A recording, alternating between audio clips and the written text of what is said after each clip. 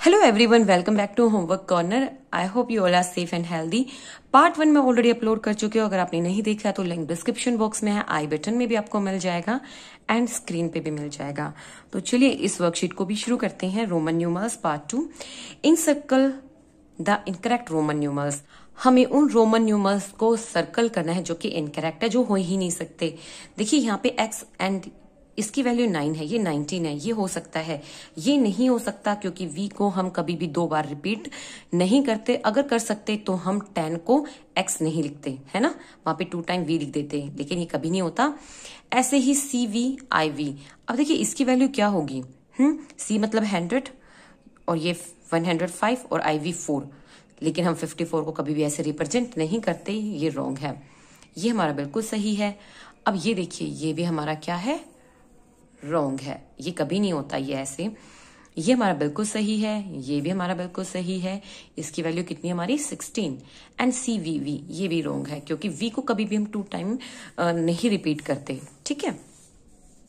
Next question है arrange the following numerals in ascending order देखिए ascending order में Roman numerals को आ, करने से पहले यहाँ पे ना उनकी वैल्यू आप लिख लो। इजी हो जाता है जैसे ये हो गया हमारा फोर्टीन ये सेवन ये इलेवन और ये nine now it's very easy ascending मतलब increasing order smallest to greater so सबसे स्मॉलेस्ट सेवन है.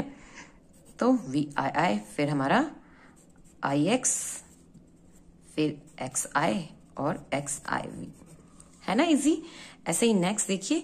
यहाँ पे पहले इसकी वैल्यू लिखिए थर्टीन और यहाँ पे इसकी हो जाएगी seventeen twenty fifteen and ten तो सबसे छोटा नंबर कौन सा हो गया? टेन यानी कि एक्स उसके बाद थर्टीन उसके बाद फिफ्टीन उसके बाद सेवनटीन और सबसे last twenty double X okay ऐसे ही हम नेक्स्ट करेंगे लेकिन ये आप लोगों के लिए है। कमेंट बॉक्स में मुझे ज़रूर बताइएगा कि इसका आंसर क्या होगा। सो so, बढ़ते हैं क्वेश्चन नंबर थर्ड की तरफ़। Arrange the following Roman numerals in descending order यानी कि डिक्रीजिंग ऑर्डर में। पहले बड़ा फिर उससे छोटा फिर उससे छोटा।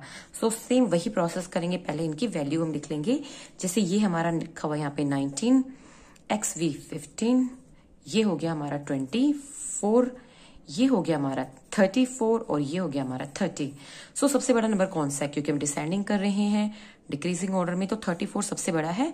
सो so, यहाँ पे सबसे पहले ये वाला नंबर आएगा। ठीक है उसके बाद 30 आएगा।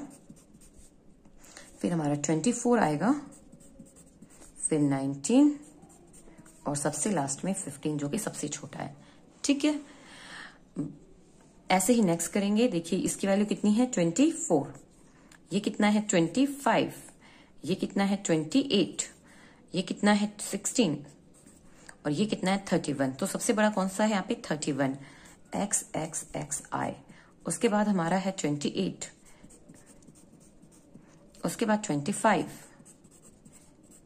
ट्वेंटी फोर ठीक है? और फिर सबसे लास्ट में सिक्सटीन ठीक है? नीचे वाला क्वेश्चन आप लोगों के लिए कमेंट बॉक्स में इसका आंसर भी मुझे आप ज़रूर बताइएगा। नेक्स्ट क्वेश्चन है match the following okay so seventy कहाँ पे लिखा हुआ है हमारा? Let's check out fifty plus twenty D वाला जो है ये हमारा seventy ninety six X V ये ये वाला सी वाला एटी एट एटी एट ये हमारा एटी एट है।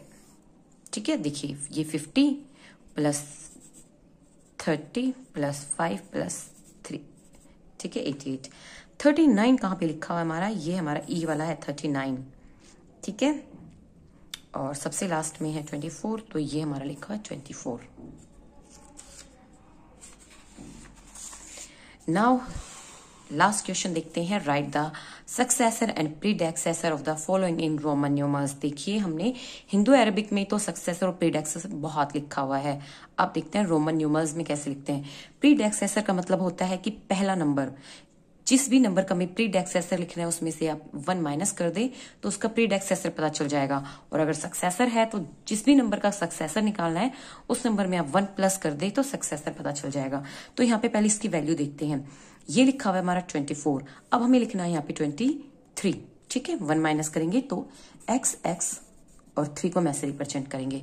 अब लिखना है ट्वेंटी फाइव तो एक्स एक्स ट्वेंटी और वी ट्वेंटी फाइव ये हमारा थर्टी है तो हमें कितना लिखना है? ट्वेंटी नाइन ये ट्वेंटी और ये नाइन ट्वेंटी नाइन यहाँ पे लिखना है थर्टी वन ठीक है?